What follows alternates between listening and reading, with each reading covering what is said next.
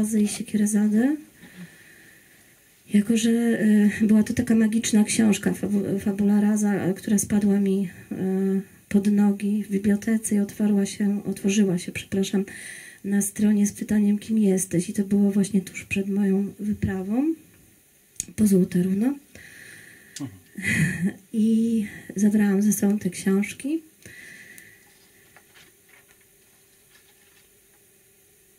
I później towarzyszyły mi właśnie przez całe lata 70. i 80. i również zabrałam zeszycik, w którym również spisywałam właśnie własne ballady i własne myśli.